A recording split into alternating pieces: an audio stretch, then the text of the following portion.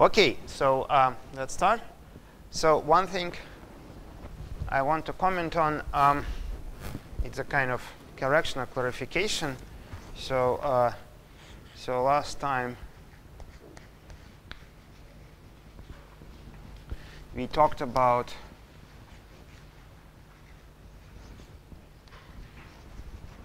uh, the geometric Satake.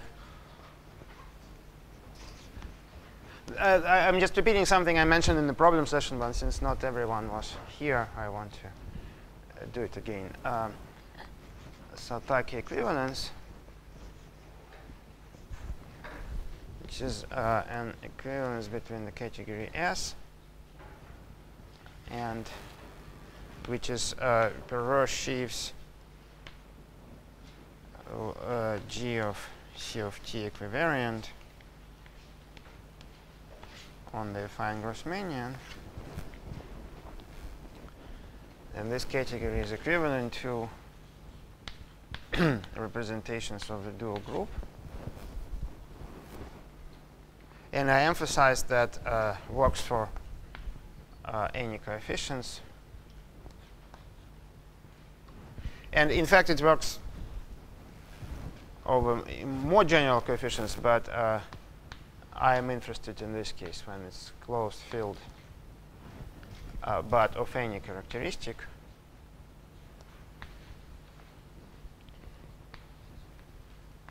And uh, okay, so far so good, but uh, just one other comment I, it was that uh, I said that um, um, if I have uh, IC ger lambda bar and I look at its torque at x mu and I said this uh, dimension of this is uh, always dimension of the weight component. But in this form it only works uh,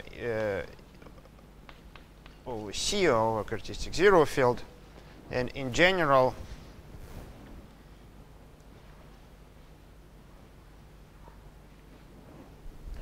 this dimension is equal to, so you can take the corresponding, so uh, yeah, this dimension, sorry, is equal to the Euler characteristic.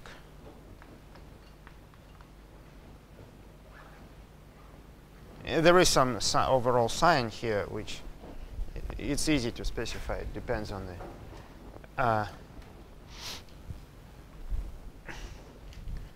I guess, parity of uh, uh, pairing between lambda and 2 rho check or uh, something like this. But uh, the point is that this is the Euler characteristic of the stalk. So in characteristic zero, it is Yes. Not, no. In characteristic zero, it's concentrated in uh, uh, several degrees, but all of the same parity. So yes. Uh,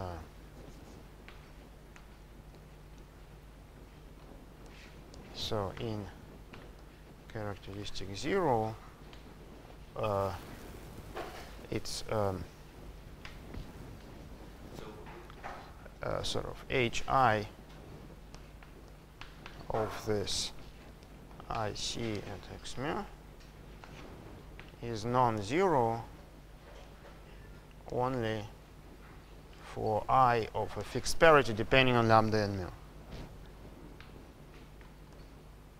So, so this, So is so-called so so-called this is so-called parity vanishing uh, phenomenon, which is but what happens here? So if you take the dimension integral, will it be traced with some uh, order two element in the G check? No, that I don't know. So it is, it's No. very important. of it. No, but because it's more subtle and yeah, we don't have time to discuss it. It's, it's an interesting kind of discussion of, I, mean, I said this is a quality of dimension and it's not, I'm not saying there's a canonical isomorphism. And so let's not go into this, but uh, yeah, one can. if you want to interpret the dimension uh, in, in these terms, probably possible, but can discuss this afterwards. Okay, so um, but so um, so I started this uh, discussion last time, and so um, so if uh, uh, k has characteristic zero, uh, then uh, rep GL and hence S is semi-simple. So the equivalence is only interesting if you sort of, yeah, it's only interesting if you take into account things like tensor structure. But just as an equivalence of abelian categories, it doesn't have much information because any two semi-simple abelian categories with the same cardinalities uh, or the sets of irreducible objects are equivalent. But if a characteristic uh, uh,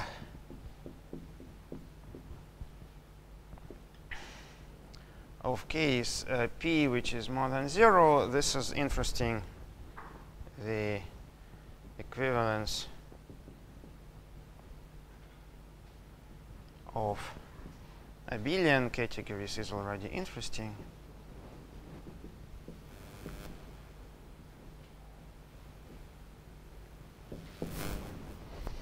And um,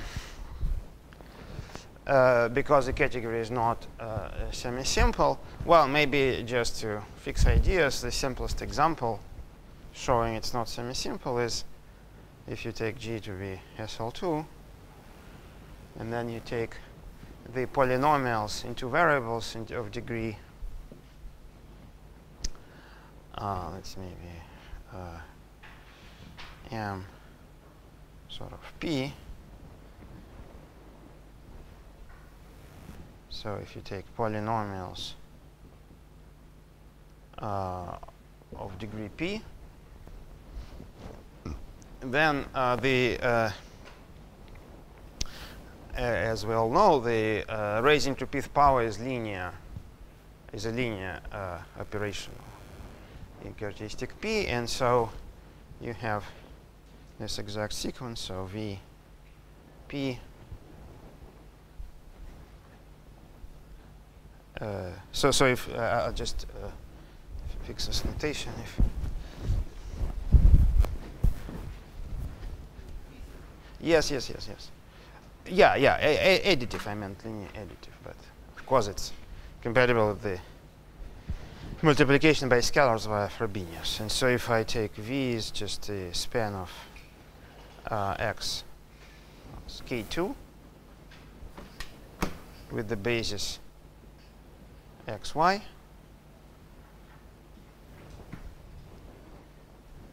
then we have this uh, 0 to uh, v to the p, which is the span of x to the p and y to the p. And it goes to mp. And then one can check. Um, so if I use this standard notation, which I already actually used, v lambda, so vi is the irreducible representation with highest weight uh, uh, highest weight i.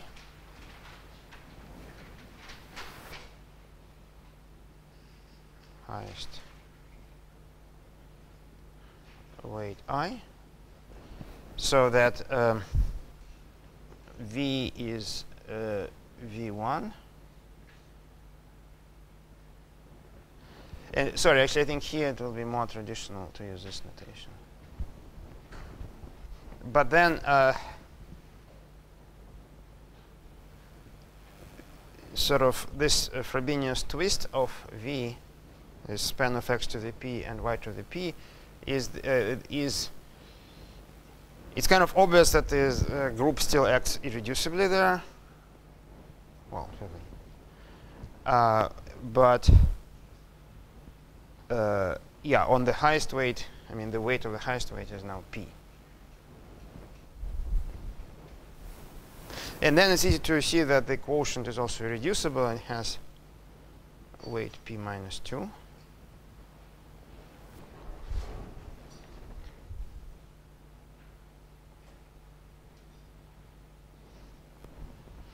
Um, so, um,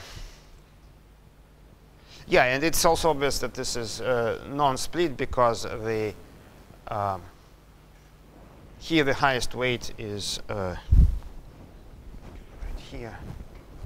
So what is so x to the p minus 1 y is not invariant under the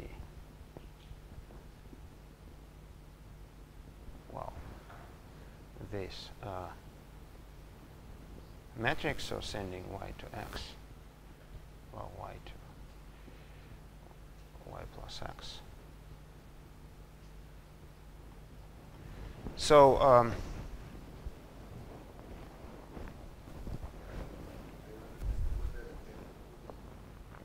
hmm? So we have a non-split so we have a non-split uh, sequence.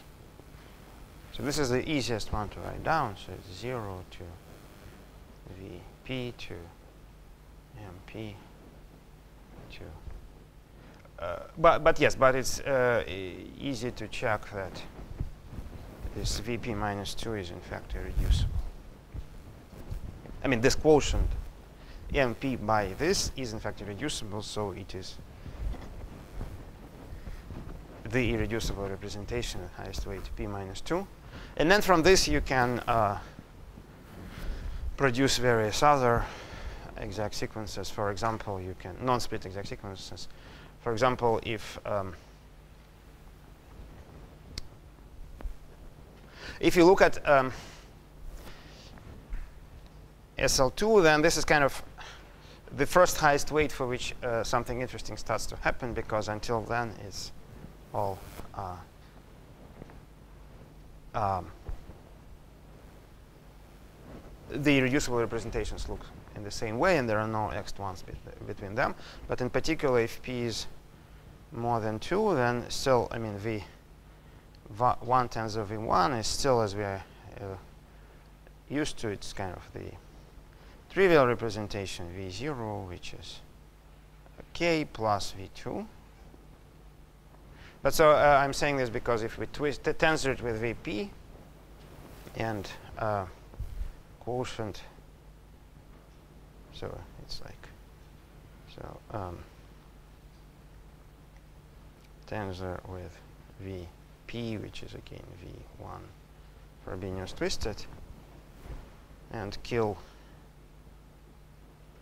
uh, this thing, V2, Frobenius twisted. So get a non-trivial extension.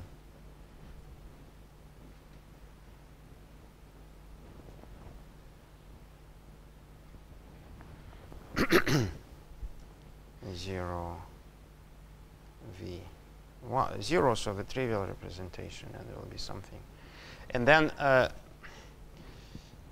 so yeah uh, the the the tensor product of uh, Vp tensor Vp minus 2 will be actually again irreducible.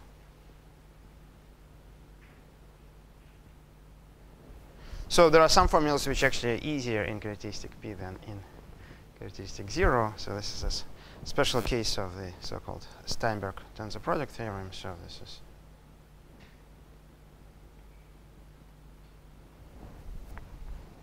so of course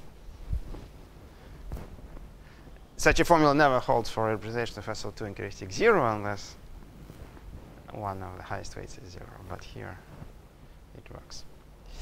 Okay, so uh, in fact, um, um, uh, this is an illustration of the so-called uh, linkage principle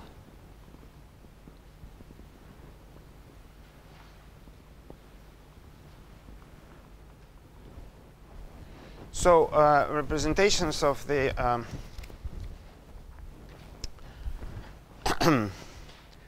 of the uh, group uh, they are not um, um, the category is not semi-simple, so there are some non-trivial kind of uh, extensions, but not uh, every pair of reducible representations uh, admits a non-trivial extension. In fact, one can break um, break them into blocks, um, uh, or what's the same in, in uh, the, the category breaks into as a direct sum of summands which are called blocks. In other words if you uh, take a graph whose vertices are reducible representations and you connect them when there uh, there is a non-trivial x1 in either direction then uh, this graph has many connected components. Um, and uh, in fact, you can say when two representations in the same block. And so, for example, uh, uh, so, well, I mean, I was interchangeably talking about blocks in the set of reducible representations and summands in the category, but uh, uh, if you think of block as a subcategory, then uh, it's just a subcategory generated by the corresponding irreducible representations. And so, um, so blocks in the set of irreducible representations so the same as uh, connected components of a graph.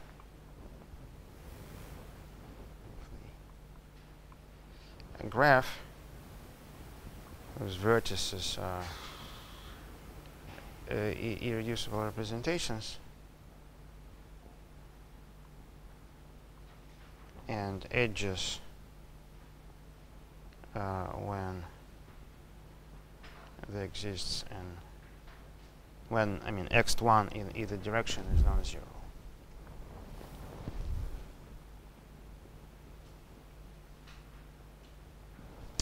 Okay, so uh, and and uh, what? I've just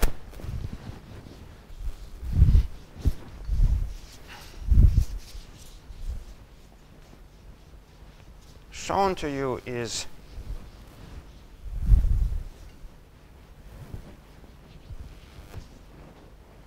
uh, that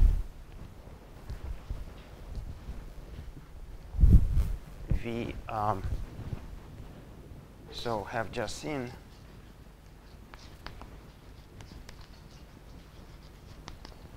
what that um, VP and VP minus 2 are in the same block.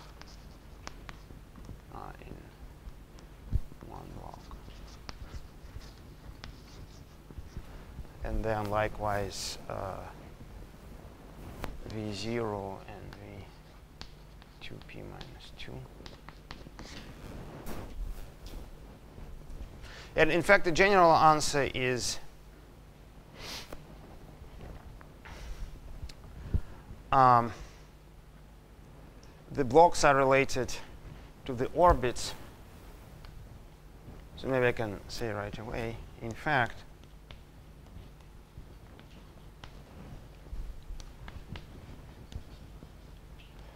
the block of V0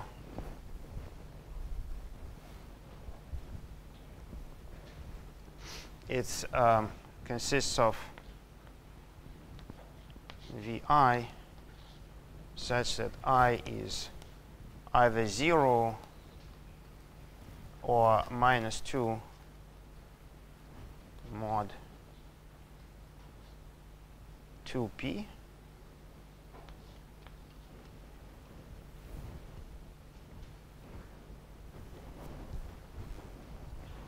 and um, in general, um,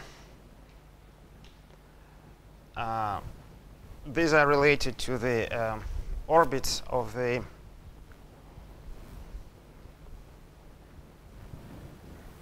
um, mm, uh, so yeah, so let me say general answer for any g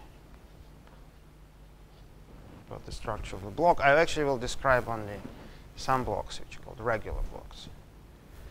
Um, so consider uh, the action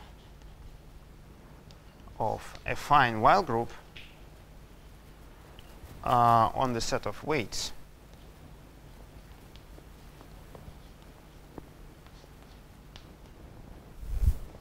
where um, uh, which is uh, uh, kind of have well so, so, so, this is the group generated by reflections and, and it's a semi-product of uh, the finite Weyl group by R which is the root lattice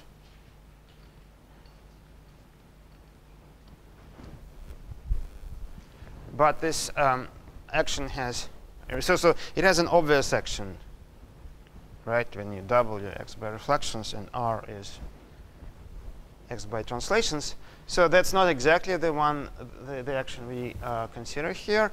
It's you have to slightly modify it uh, in two ways. So it's centered at the weight minus rho and dilated by p.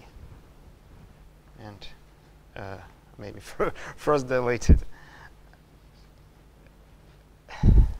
and then uh, shift to minus rho. In other words, um, yeah, in other words, uh, so so this uh, finite Weyl group acts by reflection centered at uh, minus rho, and um, by p means that uh, some lambda in R would send, I mean, these translations are not translations by lambda, but mu plus p lambda, right? So for SL2, uh, of course, uh, lambda is z.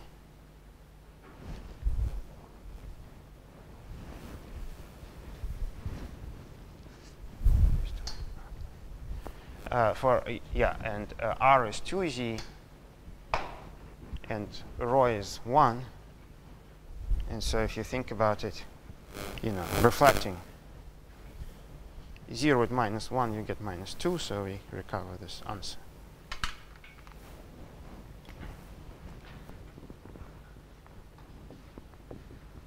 Uh, so lambda is of course z, r is 2z,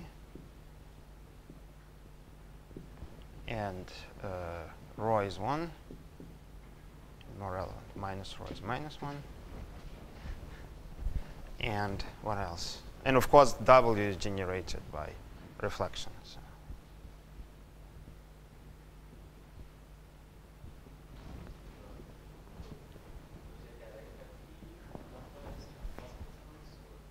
Lambda is what? Lambda is in all roots. But the point is that here, I mean, VI is only defined for which lambda? I mean, here, okay, maybe my notation was not. What's notation for uh, nu? Alpha, okay.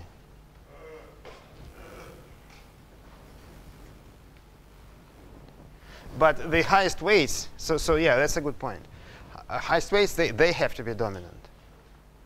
So you're saying that, uh, yeah, that's a good point. So the block, so maybe I'll write it here.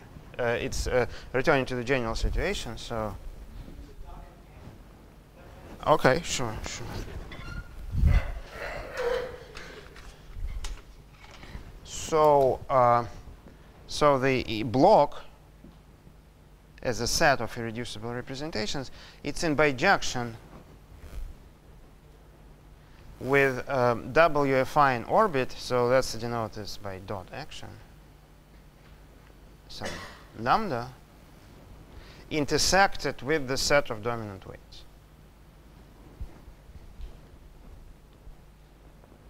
So, um, wait, in fact, sorry, I didn't finish the wording. So, I mean, so I said consider, but then I, I didn't say uh, the, uh, yeah, so I didn't make the conclusion. And so uh, the conclusion is, um, sorry, maybe I'll erase this and uh, make it a statement again because there is yet another subtlety. So, um, and so fact, uh, theorem is, uh, you can look it up in Jantzen's book on algebraic groups that um, uh, if um, if uh, lambda is regular in the sense that it uh, the orbit um, of lambda is uh,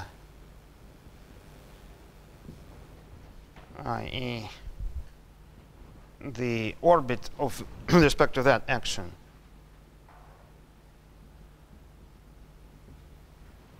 is free, then the block of lambda, block of v lambda, it cons consists of v mu such that two conditions hold. So first, it's a dominant weight because it's just, uh, uh, yeah, uh, just uh, the, the just in characteristic zero, the highest weight of a five-dimensional representation is uh,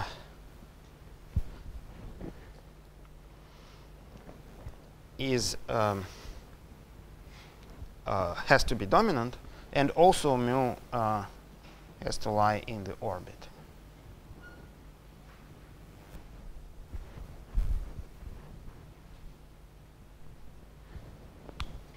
and yeah, because like there are also singular blocks, and then there is some subtlety there, meaning that.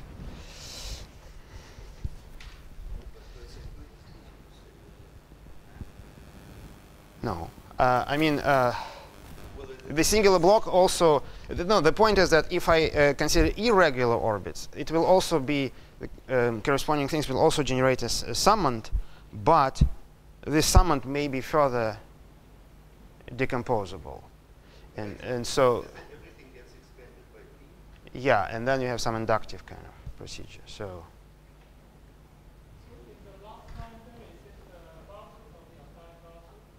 No uh, yes it's a final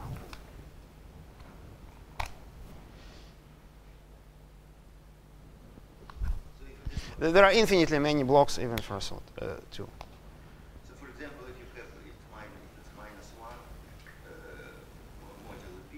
Yeah, it's important what's the power of p dividing uh, i plus 1. Right, but i plus 1 over p is not equal to minus 1. yeah. Yes, yes. And so here there is a source of infinite amount of confusion. So uh, the point is that uh, uh, so, so there's this uh, a remark that yeah, so, so such blocks are called regular blocks because they're regular orbits. So um, um, well, by standard um, yes remark. Uh, so if you have some uh,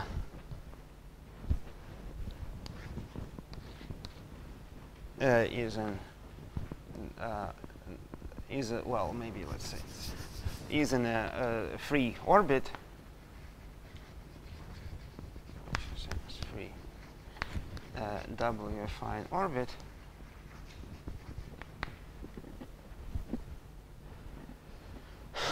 um, uh, but uh, not necessarily dominant, then uh, obviously, uh, by standard kind of uh, story about groups generated by reflections, there is a unique W now in the finite Weyl group such that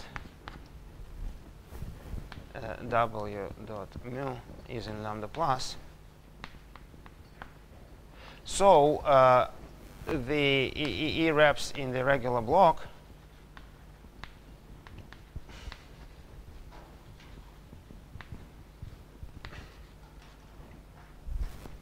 Ion bijection with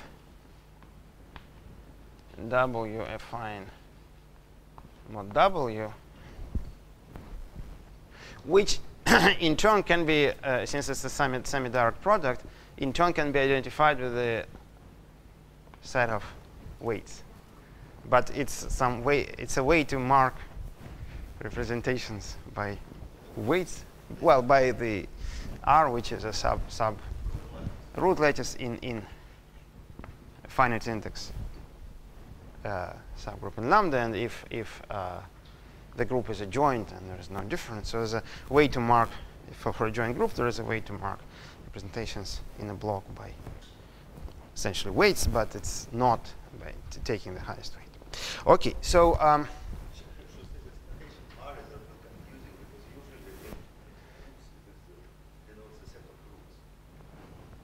Okay. So is it too late to change it? Sorry, yes. Okay, uh, so uh, so basically if we adopt this, uh, when if we want really to understand the structure of the, the abelian category, we can sort of look at it block by block. And so um, so there is a, a, different realization of this regular block. Uh, so, so let now. Uh, so, so consider.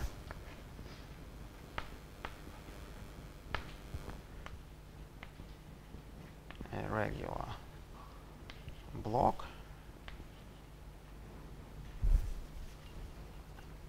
well let's call this.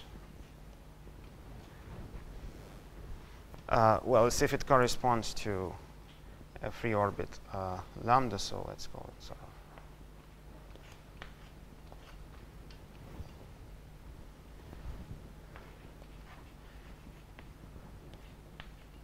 So it was, uh, yeah, it was dual group, so let's stick to this. Um, so, but yeah, by the way, one more remark here is that um, uh, I said quickly without writing down. So if you want to uh, see that um, blocks, um, if you want to separate uh, things in different W orbits, it's actually easy to do it uh, by just looking at the action of the center of the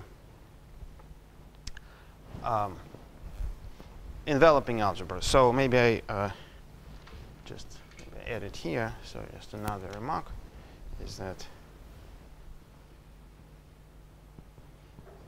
so you have to say something else to to see that things in one regular orbit uh, lie in the same block, and for irregular orbits it won't even be true. But just uh, to separate things in different W orbits, say for an adjoint group, uh, we uh, enough to look so look at the action of something which is maybe familiar. Yes, W orbits. Uh, look at the action. So somewhat like in heuristic zero, you can um, you have a representation of a group. It's also a representation of the Lie algebra, and so you have the so okay, this center is bigger, but you have this uh, k of t star mod uh, w, just this familiar thing that you know from Harish-Chandra isomorphism, but it also exists in this positive characteristic. Uh, but the point is that here you have a big um, ideal. Uh, so so i- i- it will. Um, if you look at the um, points in the spectrum at the characters of this commutative ring, which um, can actually arise from such an action, uh, you will see that you know it, it only correspond to kind of integral points. Um, uh, so so so it's yeah so so basically it will be the usual uh, action of uh, you know Cartan on the weight, and then uh, so we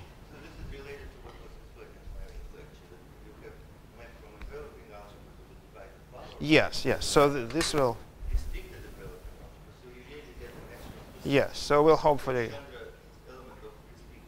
yes yes okay so hopefully we'll get to this later.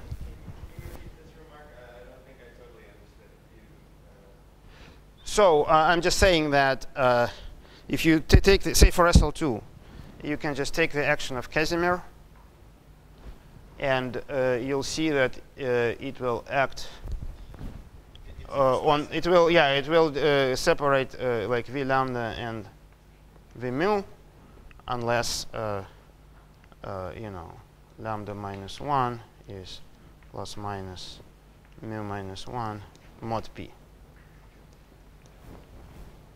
And then you, there is separate uh, issue about two, but that's you can see from the action of the center. And so in general, like you can. um,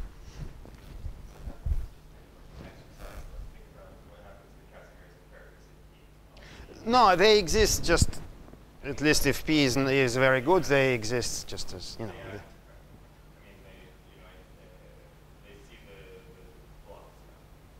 Well, they see only some, uh, they, they cannot uh, split the irregular. Yes, but they basically split the regular blocks. And if P is not too small, then Casimir's together with the center of the group, say if this group is semi-simple, it's finite. They split off the regular blocks. Okay.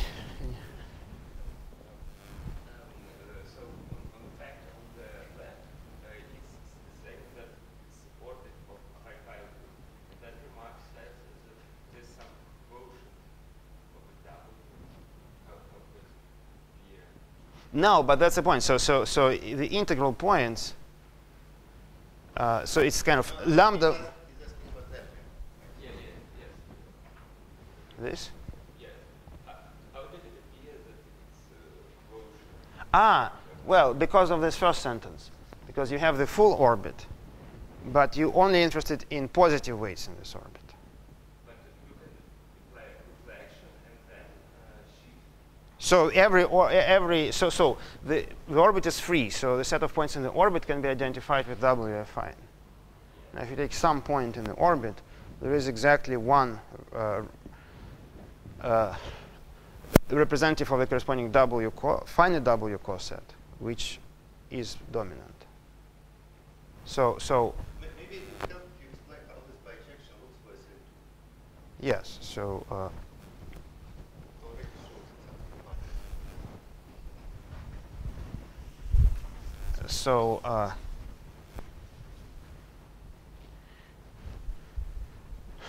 uh, so for so maybe for this uh, principal block, right? So so the uh, full um,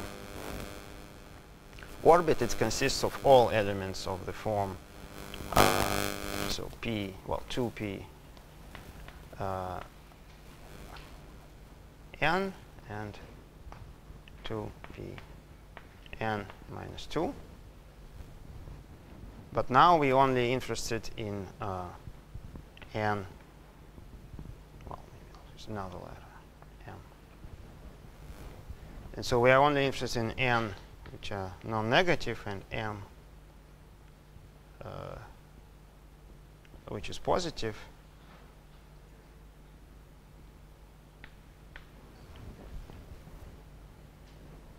And so, so uh, well, this set is, of course, identified with uh, well, in my notation, this is, you know, the, the, the, this set is identified with R, and this is SR. So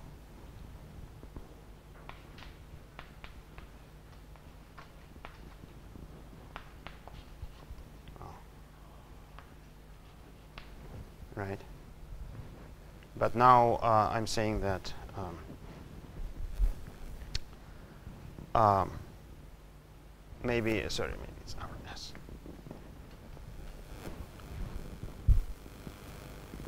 Um, so I'm uh, no, I'm I am no no no no no. Yeah, it was good better the first way. But so now I'm just saying that uh, if I take some point here, then uh, there exists well there are these things divisible by p, and then there are things which are mi mi minus two mod p. But if I take uh, so, so if I take one of them, then I can uh, so if there is some minus one here, then I if it's negative, I can reflect it here. So if I take uh, W affine, so the set of things for set of W such that W dot zero is non-negative, it's a it's kind of a section of this map. To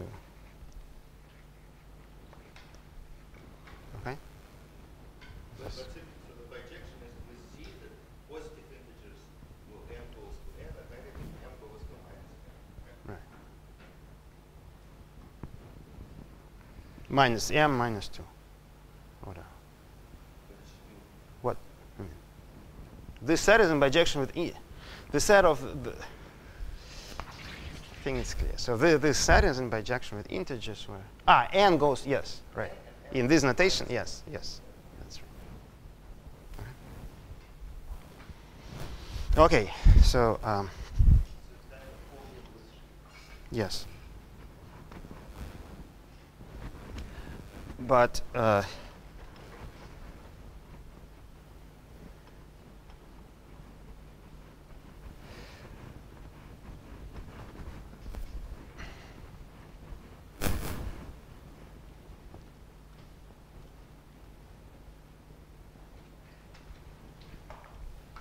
Okay, so now let's uh, get back to this.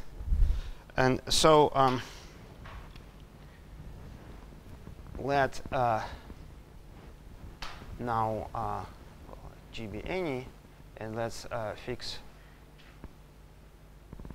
So let rep of G uh, maybe lambda be a regular block. So lambda is this mark for the orbit.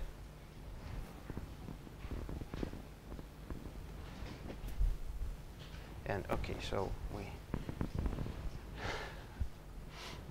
um, um, and so uh, we want to relate this to geometry of the loop group. And of course, again, this is a summand in rep G, so in fact, we it sort of sits somewhere in, inside this geometric Satake category, but we want something different. Um, and uh, so here is, um, and so yeah, so maybe for simplicity of notation, so we assume that this is adjoint, so as you've seen this a little way easier. And so and p is not too small, so p is maybe more than Coxeter number. In fact, if p is less than Coxeter number, there are no regular blocks, so this is not really an assumption. Um, so, um, so claim. Well, this is the uh, so-called Finkelberg-Mirkovich conjecture, and let me put it this way. So it's a theorem under construction.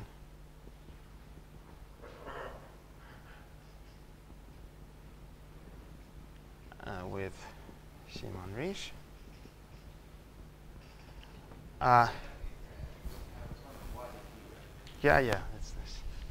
So uh, that this uh,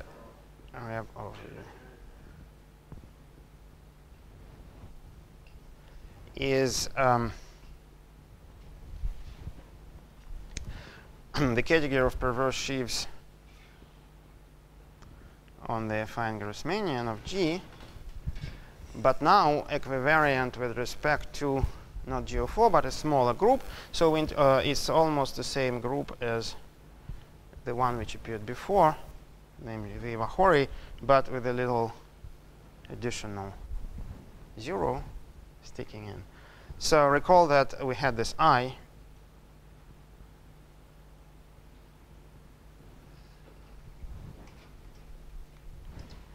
So this is Iwahori in G of C of t. So it's essentially, well, maybe I can write it this way. It's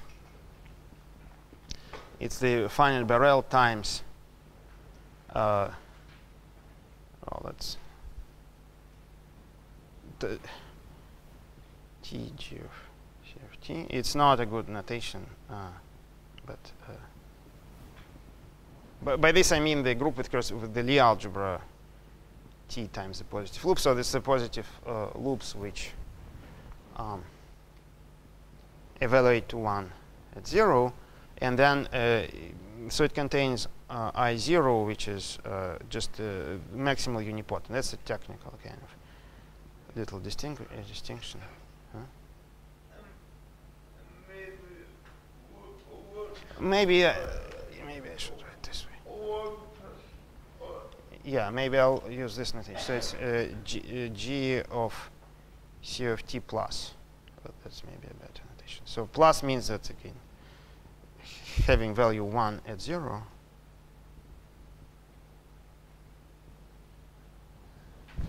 So in other words, uh, you have a homomorphism from um, i to the maximal torus, and uh, i0 is the kernel. So it's a matrices which are where entries are um, for SL2, it's uh, like A, B, T, B, right this way, 1 plus T A, T B, C, 1 plus T D, where A, B, C, D are Taylor series. Okay. Yes. That's a very good point. So there's no dependence on lambda, and uh, the um, the uh, all regular blocks are equivalent as abelian categories, and this is a again a kind of standard theorem in this theory, so translation functors which identify them. So the, the, this you can find in Jantzen book on. Yes, and this is another uh, point that will discuss.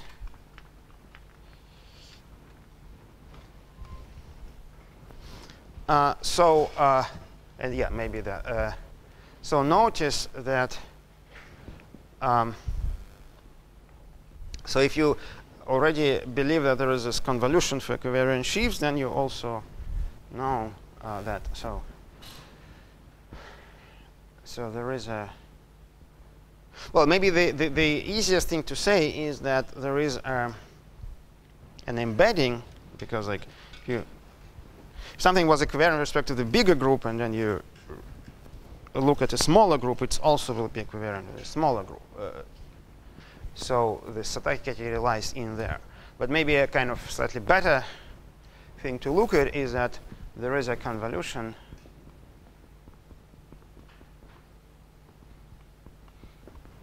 functor. In fact, all sheaves kind of on the Grassmannian, I mean, and it's also known to be exact, actually. This is a wonderful theorem of Gaitsgory. So there is a functor of perverse sheaves on the Grassmannian times uh, GO4. I mean, so this is a Satake category.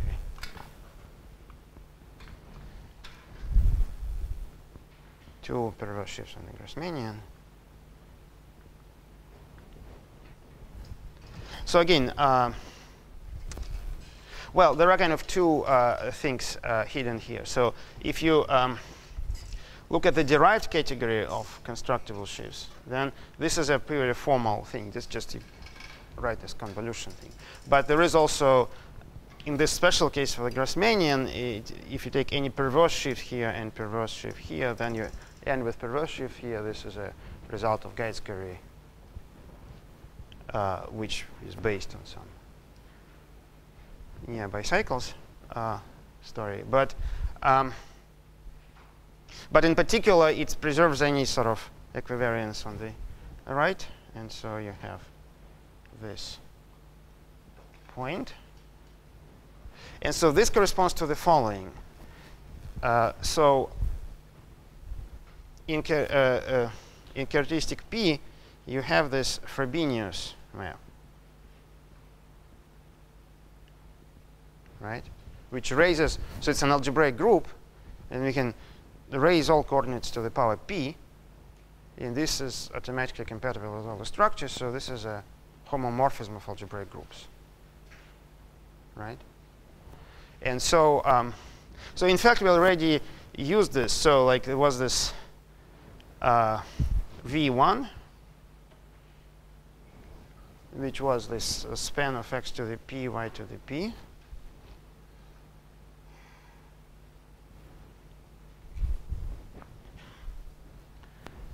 Um, and uh, this is just a pullback under Frobenius, so this is the same as.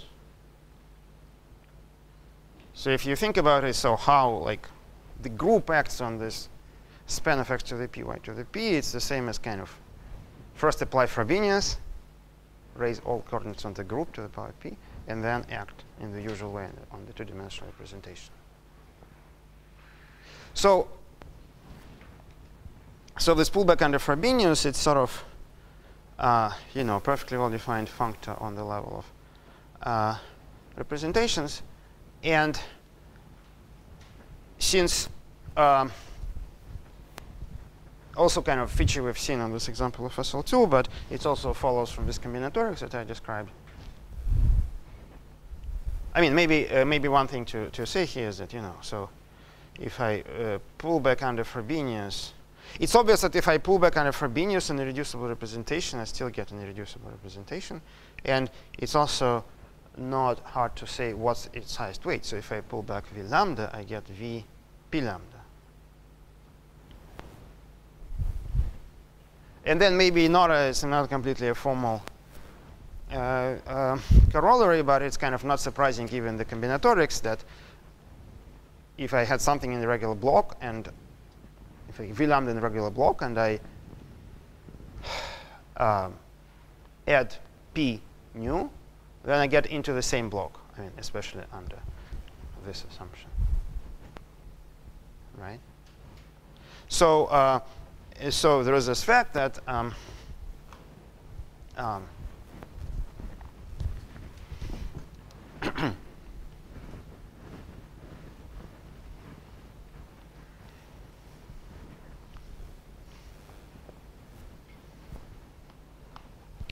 So for M in a regular block,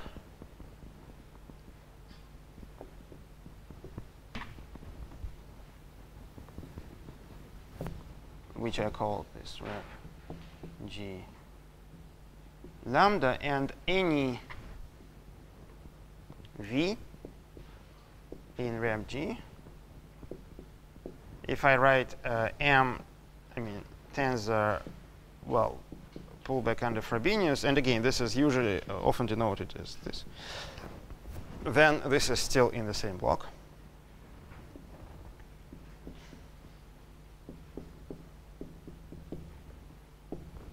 So now I can answer uh, uh, Pavel's question. Is, uh, so he asked, okay, so what, uh, how is this compatible with the old story? And the answer, so um, trying to say,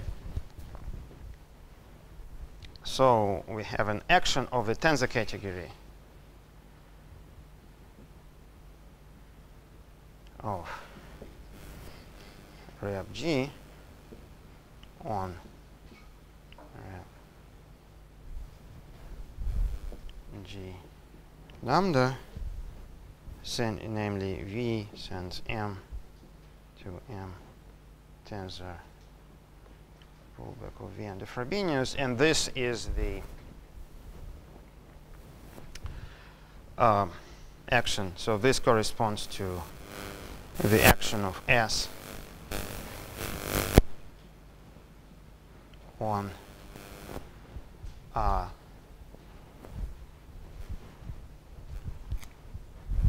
sheaves.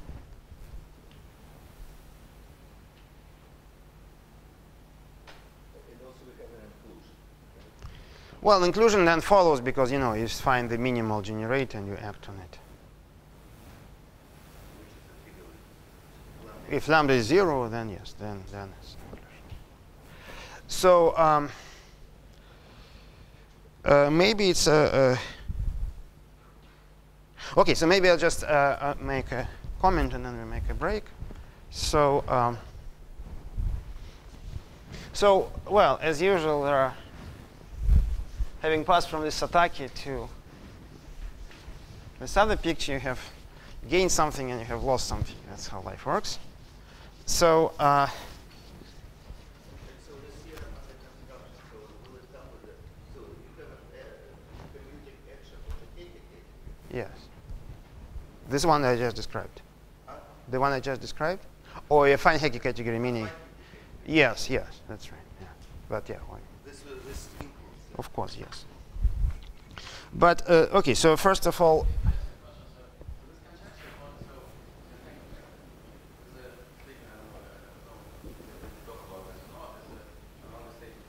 yeah, I want to mention it is this. Yeah. So, um, yeah, so, um, so advantage of this thing is, um, well, there are several ones, but the one I want to mention is that it kind of relates to the point that uh, uh, uh, Sasha was talking about yesterday that somehow one of the drawbacks of the usual Satake formalism is that it kind of doesn't extend to the derived cases. I mean, this topological thing, it sits naturally into some triangulated category. And in the Satake setting, this triangulated category is not a derived category of rep G. Uh, but um, uh, kind of derived category of this thing because uh, it has to do with uh, simple topological factors. These G of orbits, they have non-trivial topology, and the stabilizers have non-trivial topology. But here, this is a pro-unipotent group, and the orbits are just cells. So these are stratification of Grassmannian by just uh, Schubert cells. And so uh, of the Grassmannian is equal to uh, what this, whatever, I mean, this equivariant derived category. So in practice, this means that you know if you want to compute Ext between representations, it's reduced to some topological calculation. So, so by by by this uh, theorem, it's the same. I mean, this much you can also write for the Satake thing, but um,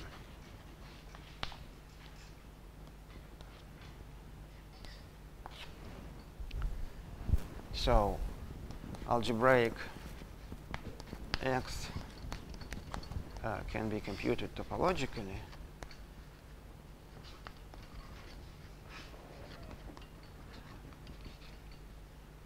Uh, and the uh, well disadvantage uh, is that lost the tensor structure.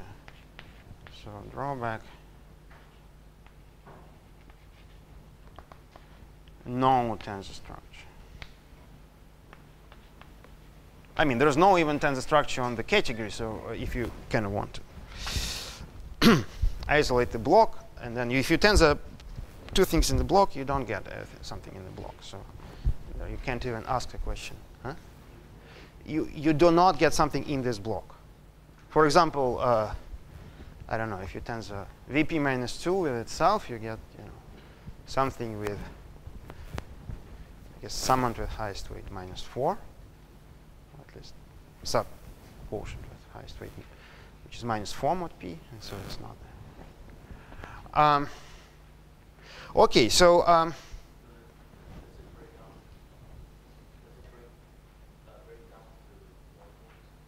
No, of course you can tensor and you can sort of break down this uh, representation as a sum of uh, various blocks. And then as a sum of representation in various blocks. And you can ask, is there sort of a geometric description for that function? And when I was younger, I was hoping that there is one, but I no longer do. Uh, so, uh, okay, so um, uh, and okay, so the one final comment is that uh, maybe I'll say a little bit more about this. Um, so there is this uh, analogy with um, uh, between mod p uh, representation theory, mod p uh, representations, and uh, quantum, uh, I mean, of algebraic group of, of classical kind of things.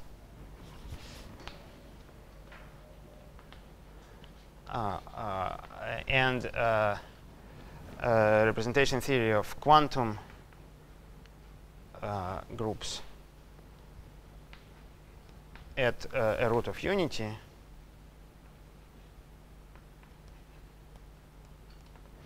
And so uh, this principle works very nicely here. And in fact, there is a known result. Uh, I mean, so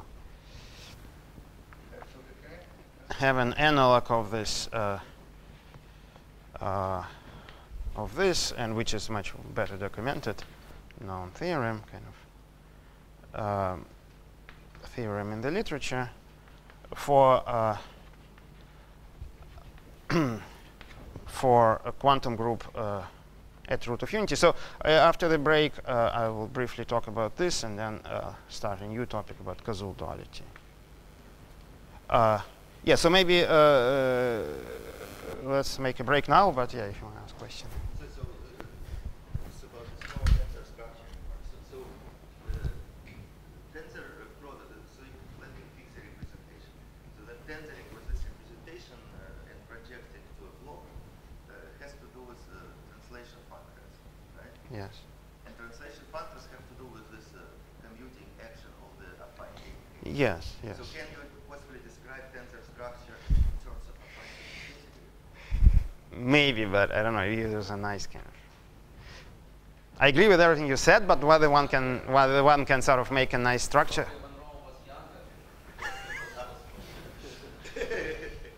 yes. Uh, okay, so let's make a break.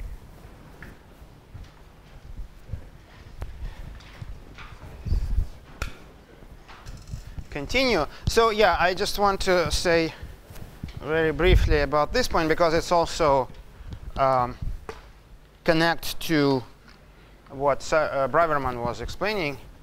I think that seemed to be out of chalk, but well,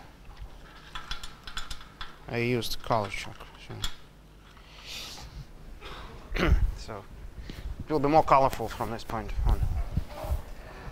Uh, so yes, yeah, so uh, as I said, this uh, I just want to say this a little bit more precisely.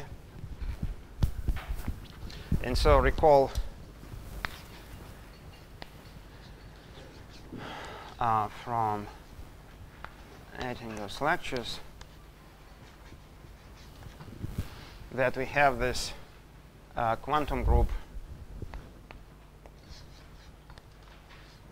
UQ uh, quantum group.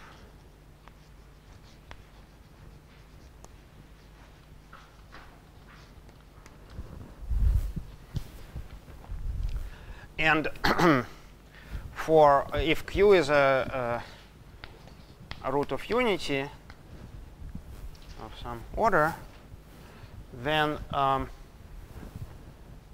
um, we have uh, Lusztig's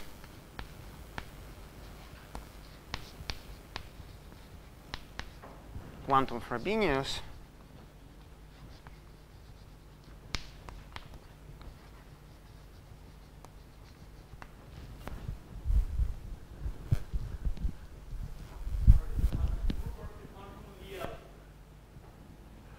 Uh, well, I guess it's called quantum group but it's maybe uh, the the best analogy, as I will now explain, is with this hyperalgebra with um, distribution algebra, which is enveloping with divided powers. Uh, but okay, so um, because I couldn't find white one, but okay, I can go. Huh? Okay, okay. That's fine. I have some. Okay. So uh, Lucy quantum Frobenius, which is uh, U Q to the classical enveloping algebra.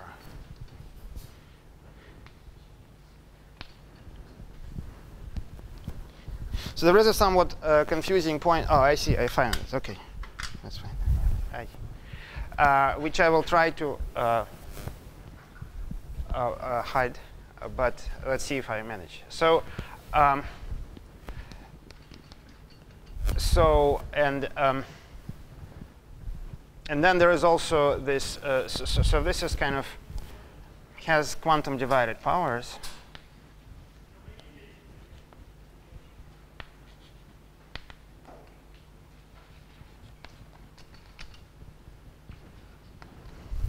And there is also this uh, uh, so-called Kac de Concini.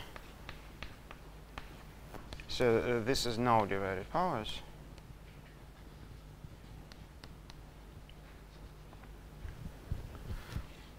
and so we have a, an embedding from the thing without divided powers. Well, maybe let's call it Q Lusztig. And it factors through this restricted thing. So the image has finite dimension, uh, which is usually called small u. And then this, uh, there is this quantum Frobenius to the classical enveloping.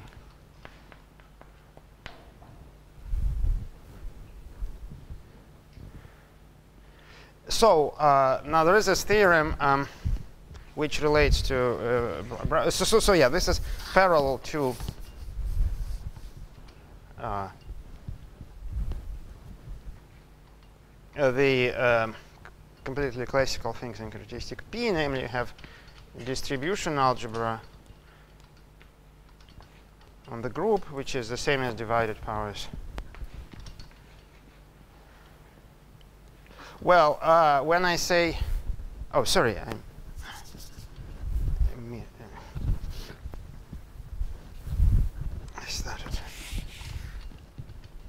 So it's UG. It goes to the distribution algebra.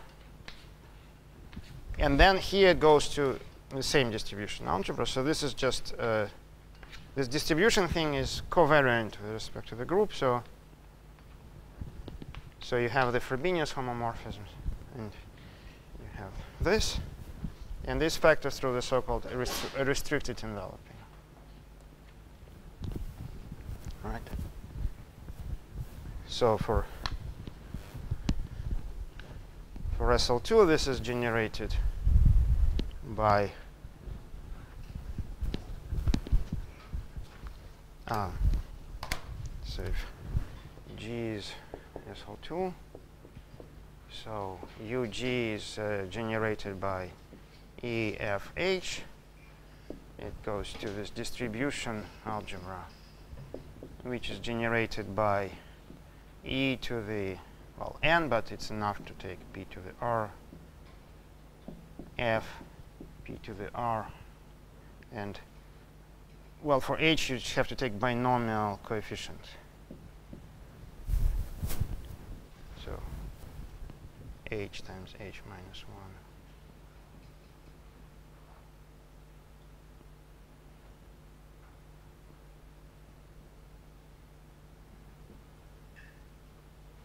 So the idea is that you take those expressions over z, for example. So this is infinitely generated. This is not finitely generated. Yes. Yes. You can say for every n, but most n on, on those values of n are relevant. And this goes to the distributions one of G, and uh, this map sends uh, kind of E. Uh, it kills E and F, but essentially it sends um, kind of E to the P to the R minus 1, I guess. Yeah, the idea is that this notation, we use this notation that uh, we should have so x to the n is like x to the n over n factorial. Or something like this. Uh,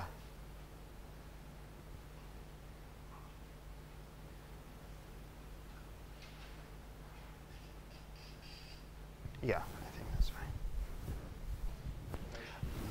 The right-hand term should be distributions on G. That's good point, yes. Um, but I mean, the, the, the uh, point is that E goes to 0 and F goes to 0. Um,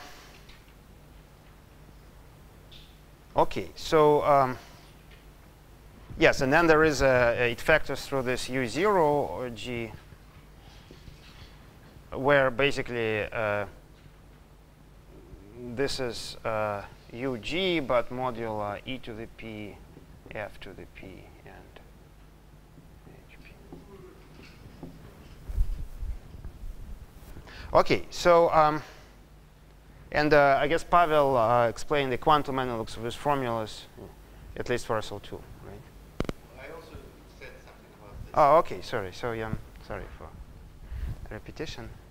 Uh, okay. So um, so the, wha- what I uh, really want to say is that now you have this representations of UQ Lusztig. Well, lambda in the sense that you have also a regular block. And this is uh, perverse sheaves I0 on the Grassmannian. So this is a um, um, result. Uh, well, my friends uh, uh, quote the uh, paper of uh, Arkhipov Ginzburg and myself, but in fact, um, this was established much earlier by. Um, yes. Uh, Uh, exactly. Um, hmm? yes, exactly.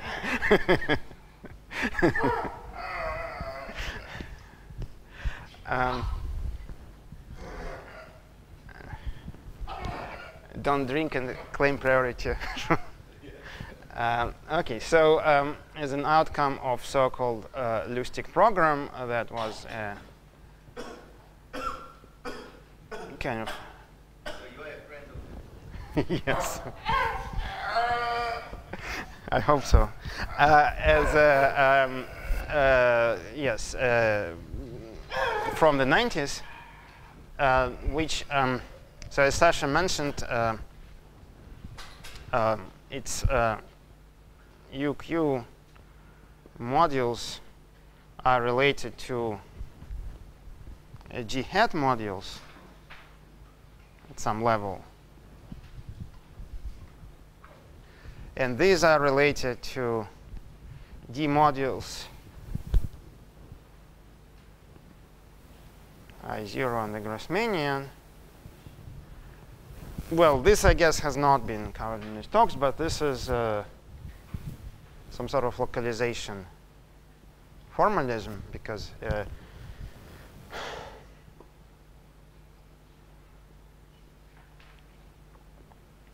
The idea being is if you have a D module with an, on some variety, possibly infinite dimensional with an action of Fourier algebra, you take global sections and you get a D module. So this kind of live in the same world. So, but um,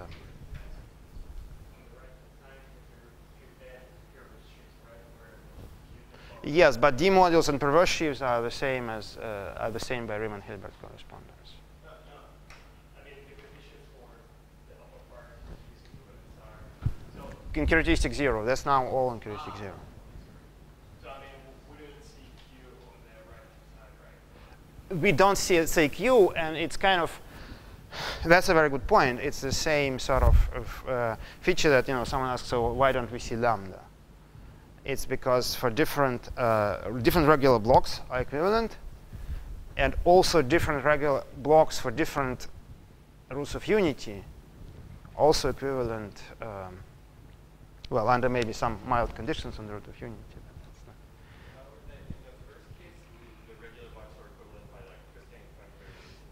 Yeah, that's also a great question, but uh, it's not like there's no direct way, but it's much more involved argument.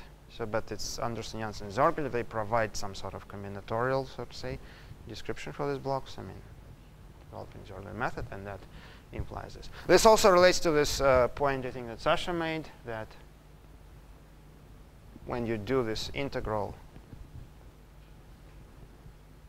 yeah, there are some kind of uh, things which are maybe related in an obvious way on this side, but maybe not. I think so, so something related was mentioned in Sasha, Sasha's presentation.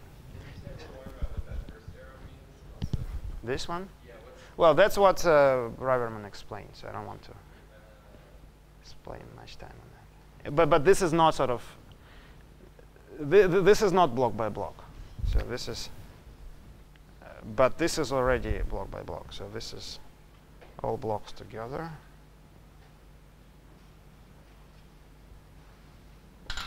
Oh, thank you. And this is uh, for a regular block. So, uh, did you have question? Oh yeah, that's exactly the subtlety that I wanted to bypass. There is no Langlands duality here. I mean, um, the there is this tricky point that the well f- f- for this Frobenius lands, it may land in UG or it may land in UGL.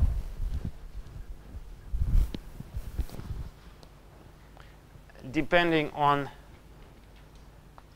whether the root, uh, whether L, the order of the root, is prime to the well six basically or not, whether it's the uh, more precisely to the uh, multiplicity of the edge in the Dynkin diagram.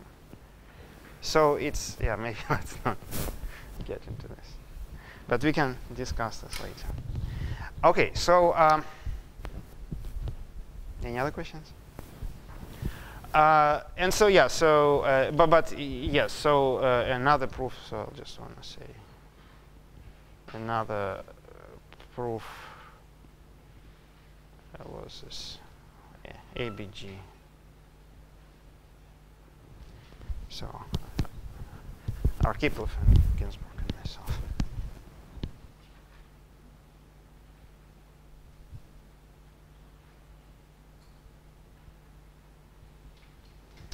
So maybe um,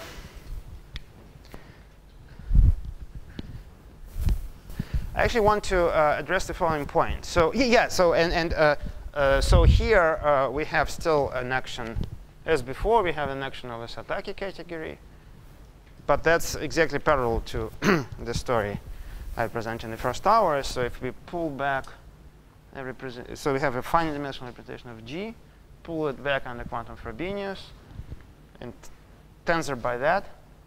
This preserves the block and at least if it factors through the adjoint um, group here. And then um,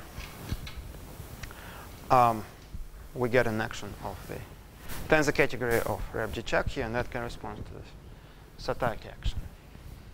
In fact, uh, that's it's maybe not a central uh, point for the theory, but it's kind of like this. So maybe I'll spend a few minutes on this you can ask, okay, but so um, as Sasha emphasized, if you take this full Satake category, if you take the full uh, derived Satake category,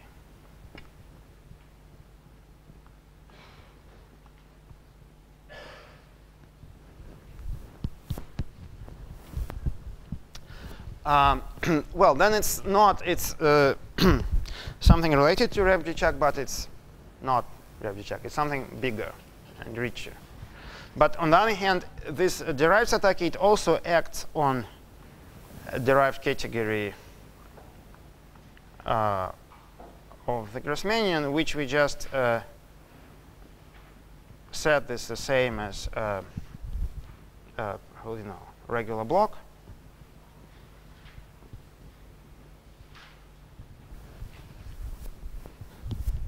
And in either modular or quantum setting. Uh, so okay, so the, this abelian category of perverse sheaves acts in the way we described, but what about the rest?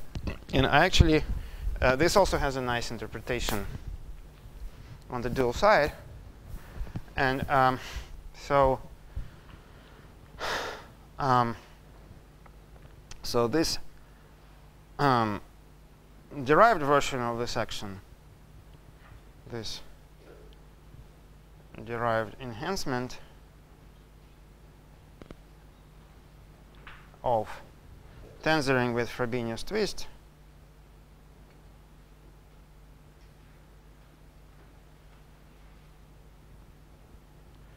um, can be related uh, to uh, has a nice interpretation uh, in terms of deformation theory. So let me quickly say this, and then this will be transition to this Koszul duality, most of which will. Uh,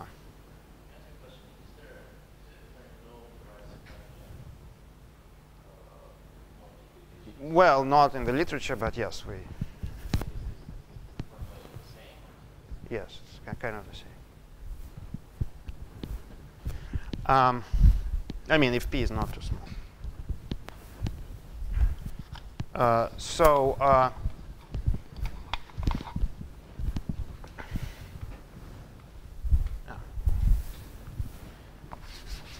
Uh, there, rug. Okay. I know you like it, but uh, where is it? No, it's here. Okay. Um,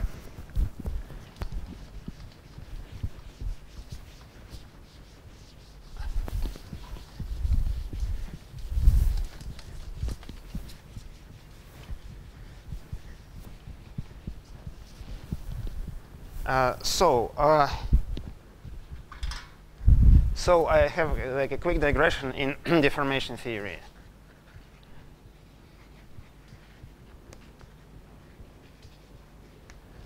So uh, you may have heard in, you know, first graduate algebra class that deformations are related to second Hochschild cohomology. And um, I kind of, usually when they present it, they choose sort of one parametric deformation. And then I'll, you know, we might as well look at the multi-parametric deformation. So let's um, say that, um, uh, let's say we have some algebra if A is an algebra over some polynomial ring. Let's write k of v. And it's a flat algebra.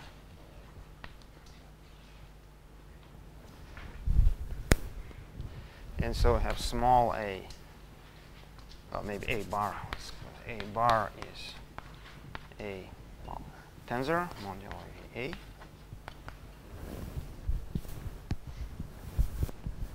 Uh, then you get uh, a map from V star Uh, well, star or not star depends on the meaning of this notation. It's a also a very confusing point. So, yeah, let's see. This way. So this is a, a functions on the algebraic variety V, which is the polynomial algebra on the dual. Wait, uh, is vector space Vector space. Uh, vector space. So I, of course, yeah, you can be much more general, but I want to do to be this. Um, and so uh, then um, I have a map from V to H H.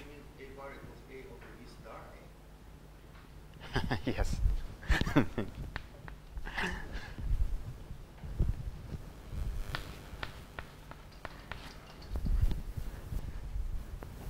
I used to like uh, um, the opposite notation of KV CMV, but now I switched, thanks to your influence. So, um, so um, in other words, the um, essentially homology is a sort of um, more or less endomorphism of the identity function in the derived category. In other words, uh, although I mean to make it technically a correct statement, you need to work in a proper homotopy setting, but at least you have an uh, clearly uh, so for every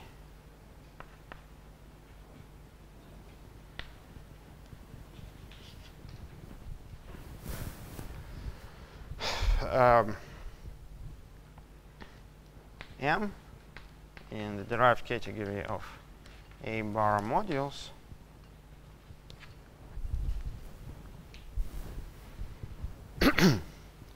uh, we get an element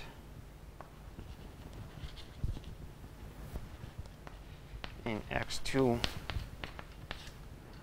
uh, from M to M which is functorial in M, etc., etc. Getting four, I mean, starting from an element in H2.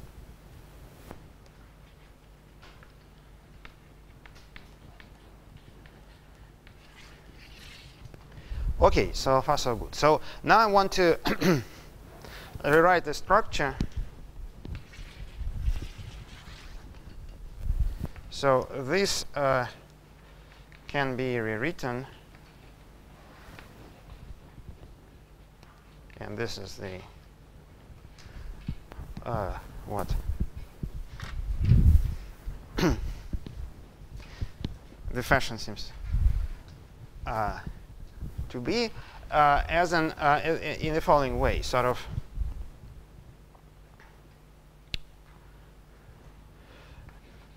As an action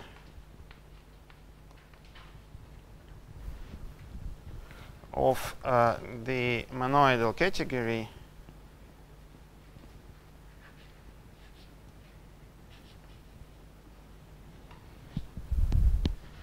of the coherent sheaves on the derived scheme or uh, let me uh, uh, again it's uh, fancy words but it's something very concrete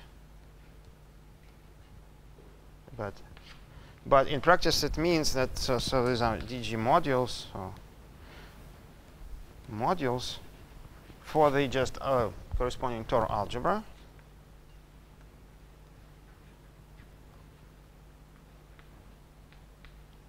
But so the idea is that if you compute the Tor algebra, you of course uh, uh, so maybe I'll write somewhere else. So you of course recover um,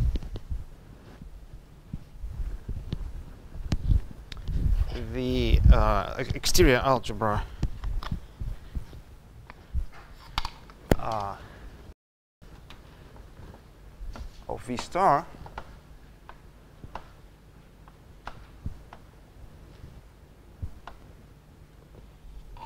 And so here the trivial module is the identity for this um,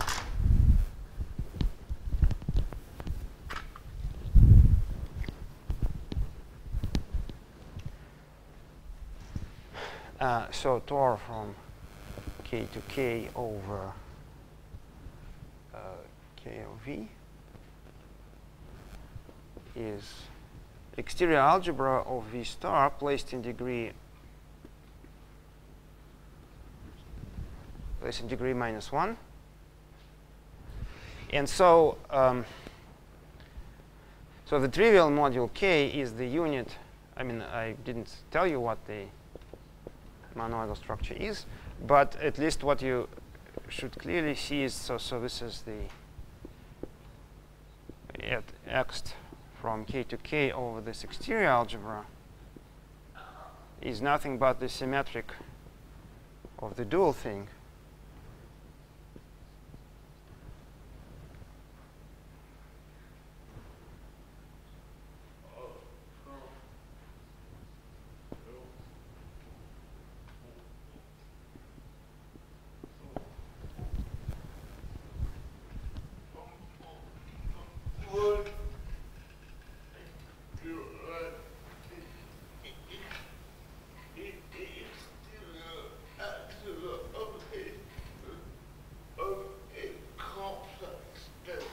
I should you, you say I should say sy- sy- symmetric algebra using the sign rule. Uh, you are right, but uh, yeah, maybe I'll uh, leave it. So better. I, I, it's just a little bit. Uh,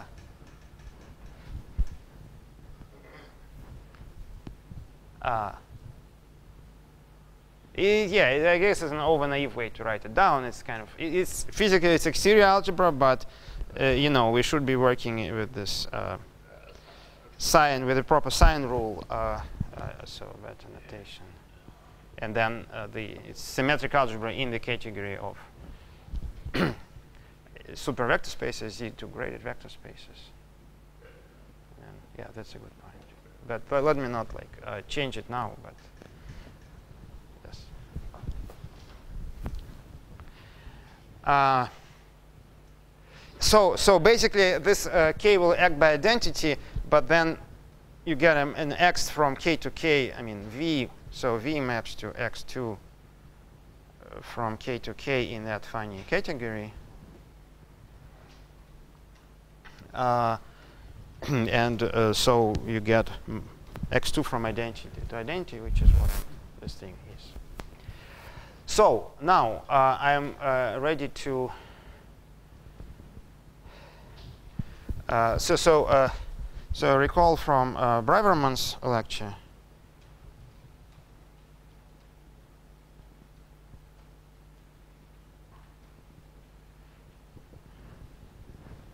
That uh, so d g of O on the Grassmannian.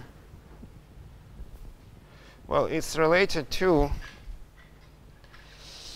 uh, modules, sort of equivariant modules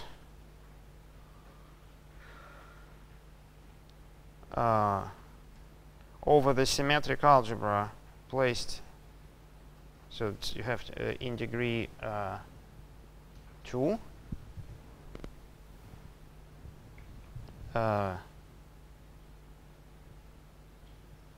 equivariant under the group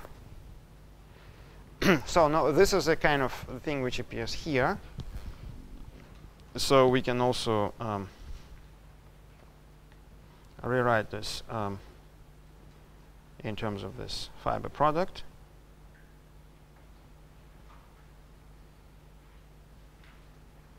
I'll identify the uh,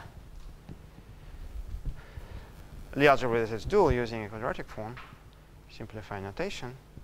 And so now I'm just saying that this structure comes from uh, an equivariant deformation of the category. And in fact, um,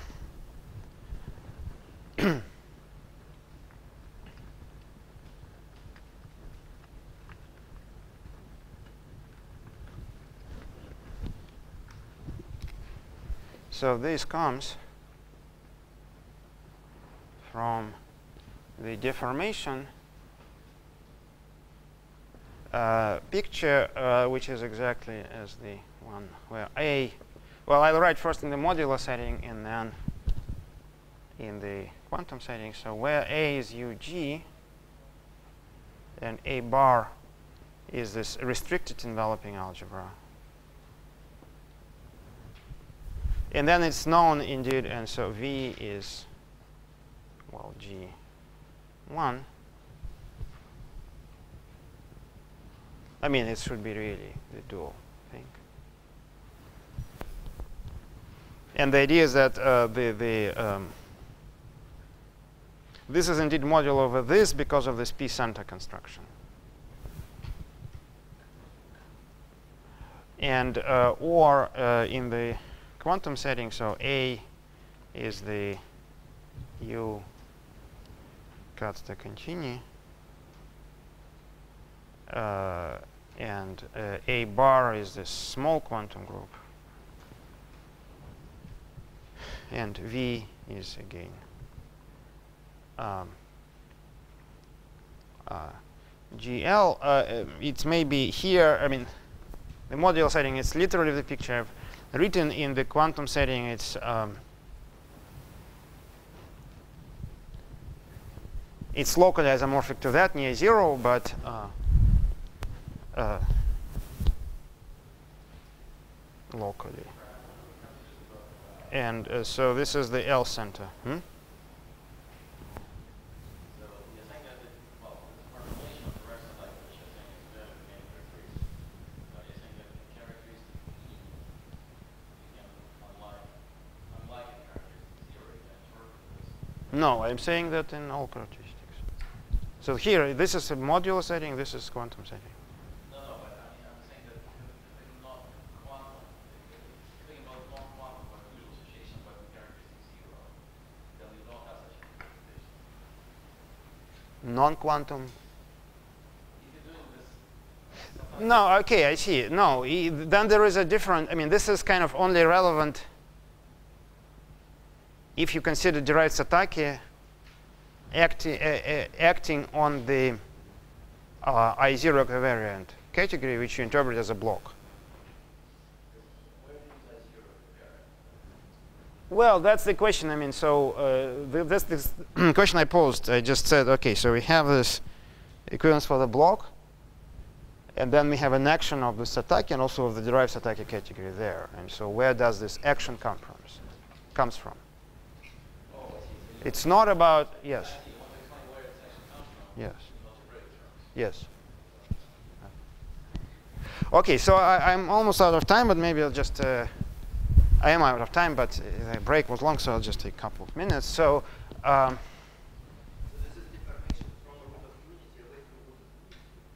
No, no, no, no, no. This is deformation from the restricted enveloping to the non to the Kac de Concini. It's a different deformation. Um, okay, so um, I'll just advertise the other topic and um, and maybe uh, make a joke, and this will be the end. And so, uh, so kind of. The next topic will have, uh, uh, you know, will be very much related to this story, and it will kind of um, relate. Uh,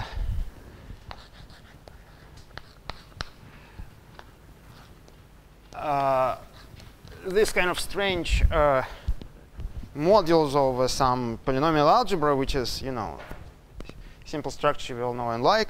But now we have this unpleasant feature that this generators sit in some finite homological degree, in degree 2. But it will relate it to another setting where it sends in degree 0 and everything is sort of, everything is nice. And so this is this uh, Koszul duality.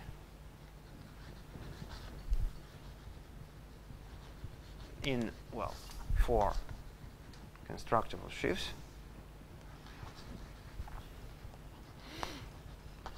It's some uh,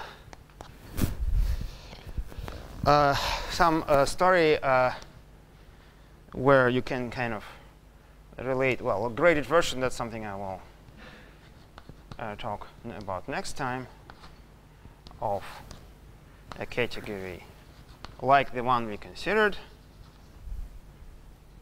um, derived category of perverse sheaves something, maybe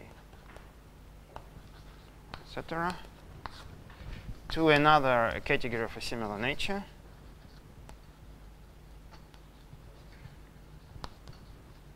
But it will sort of uh, send this uh, things like GL of 2 will go to GL.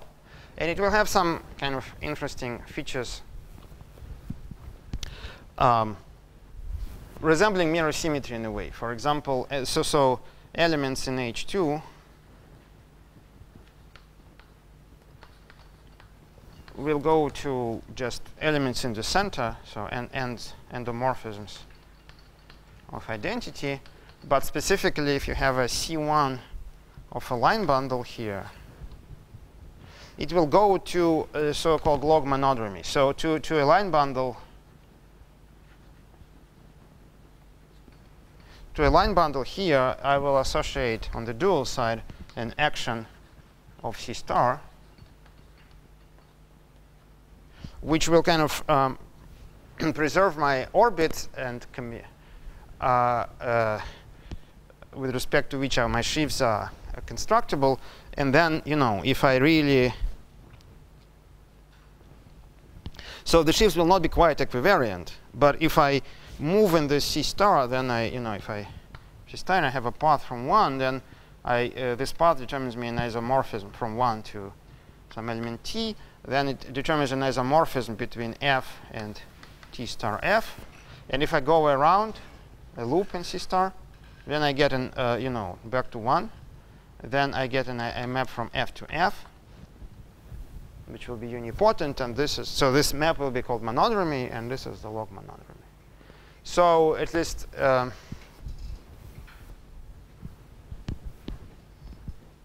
so in mirror symmetry, they say that uh, twisting by homological mirror symmetry, they say that twisting by line bundle should be uh, related to monodromy automorphism, and this is formally similar.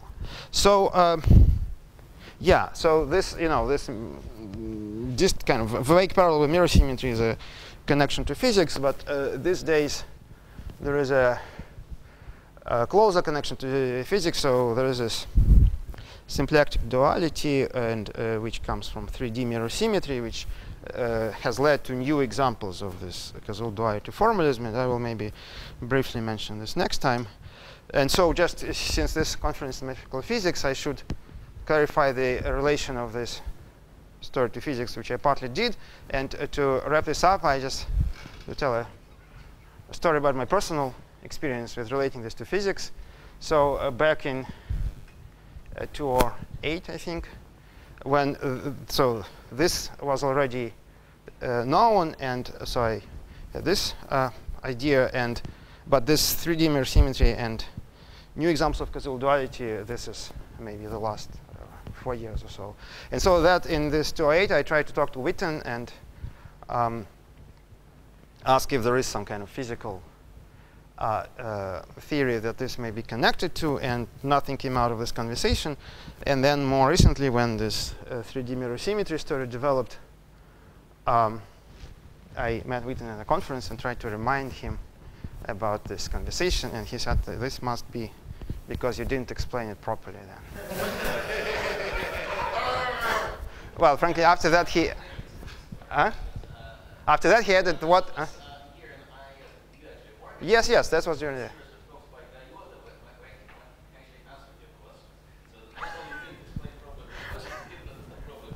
I see. Okay, that's a great addition. Ah, ah, really? Okay. Great. Okay, so then let's stop here for today. Yes. Um,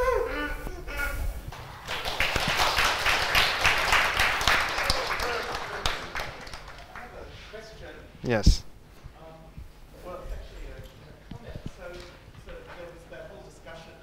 exterior. Yes. But it's a co-algebra, not an algebra. It is actually. It is a both. It's a Hopf algebra. But not with that structure. It's the shuffle product. So shuffle product. It's a different. Oh. So when you write spin, that's expressing the co the co-product, not the product. Uh, I, I mean, I didn't know about the shuffle, but I mean, maybe I can say how I. So how I think about it, but I mean, this is a good point. That somehow the way I think about it is that, again, it's, it's not like due to me, but uh, basically, um, the, the general formalism says that if you have a, like a map x to y, then uh, this is x times x over y is a groupoid over x. So I have this anchor map and everything. But now, um, so in the maybe you mm, put some uh, uh, typically put some requirements, and then derived geometry says that you should not think about those requirements. And so, in particular, you can in this framework of derived geometry, you can think of this in the notation also of my presentation. X is zero, and y is uh, v. So I get so I get exactly this. So I get this uh, point times point zero times zero over v. It's a sort of derived groupoid, but derived groupoid of a point, which is a group. So the conclusion that this is a derived algebraic group. And indeed, um, in this language, the monoidal category. I mean, I told you it's monoidal category. I didn't tell you what. Define it really. In this language, the uh, monoidal structure is a convolution of coherent sheaves, which in this dual language of symmetric algebra of this, it becomes just usual tensor product of coherent sheaves. Yeah, thanks. Any other questions? Yeah, here everything is commutative. Yes, yes, that's right. Yes. Any other questions? Okay, thanks. Yeah.